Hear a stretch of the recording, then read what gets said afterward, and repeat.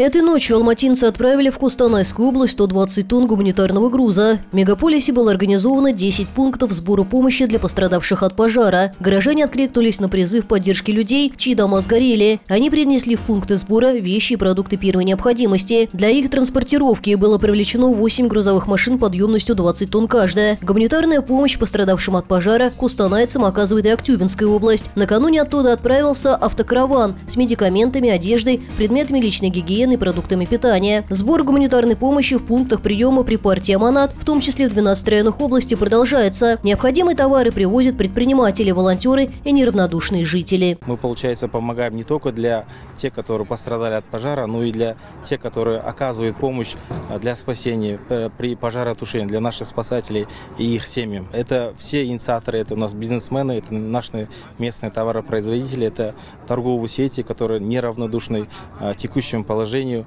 э, жителей Костанайской области. Режим ограничения полетов в ряд аэропортов южной и центральной части России продлен до 10 сентября. Запрет охватывает 11 воздушных гаваней, сообщили в Росавиации. Так, полеты временно ограничены в аэропорты Анапы, Белграда, Брянска, Воронежа, Геленджика, Краснодара, Курска, Липецка, Ростова-на-Дону, Симферополя и Элисты. Пассажирам рекомендуют выбирать альтернативные маршруты. Ранее Росавиация рекомендовала пользоваться аэропортами Москвы, Сочи, Волгограда, Минеральных вод и Ставрополя. Ограничения действуют с конца февраля.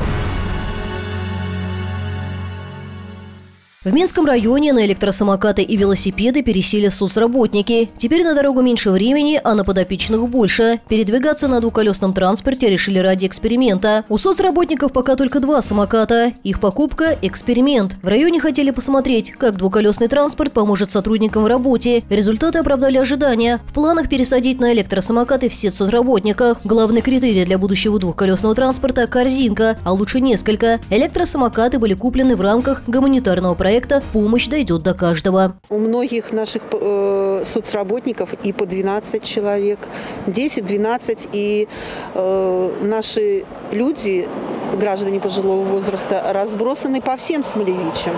Вот. И тем более очень удобно в сельской местности, потому что от деревни до деревни 5 километров, допустим, от одной до второй. Праге около 70 тысяч человек вышли на антиправительственную акцию протеста под лозунгом «Чехия в первую очередь». Ее участники считают, что власти действуют в интересах Евросоюза и НАТО, а не своей страны. Требуют от министров, соответственно, изменить внешнюю политику, остановить инфляцию и рост цен на энергоносители. Премьер-министр Чехии обвинил манифестантов в пророссийской позиции.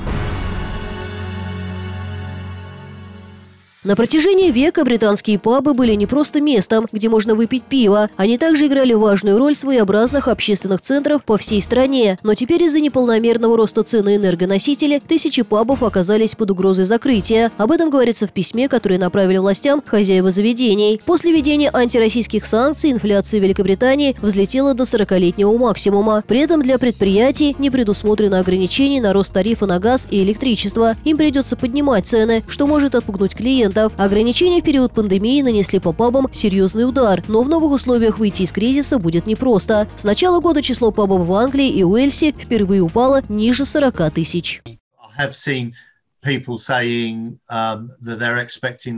Мне встречались люди, у которых, как они ожидают, счета вырастут в 2-3, а иногда даже в 4 раза.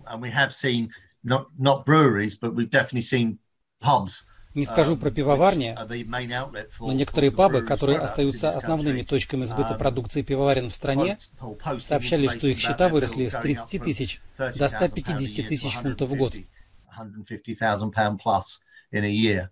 Мы определенно отмечаем рост цен на некоторое наше сырье, например, на зерно и на хмель, которые мы используем. Они действительно несколько поднялись в цене.